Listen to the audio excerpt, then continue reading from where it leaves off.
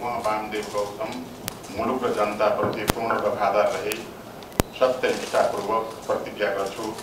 नेपालको सार्वभौम सत्ता राजकीय सत्ता नेपाली जनतामा रहेको नेपालको संविधानप्रति पूर्ण वफादार रहँदै राष्ट्रिय सभाको सदस्य पदको कामकाज प्रचलित कानुनको अधीनमा रही मुलुक र जनताको सुरक्षालाई कसैको पक्षपात नगरी पूर्वाग्रह वा खराब पदीय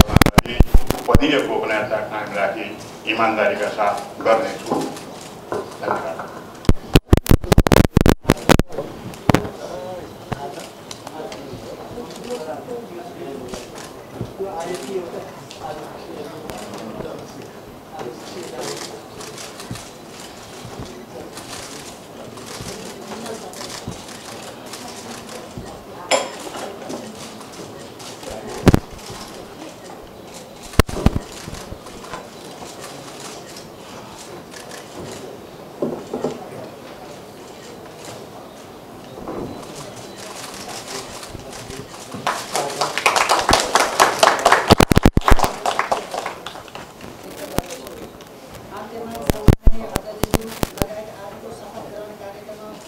पदाधिकारी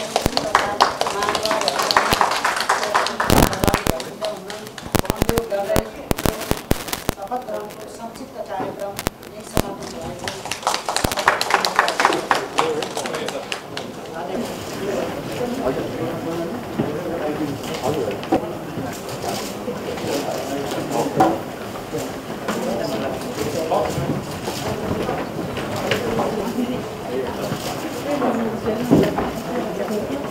大去？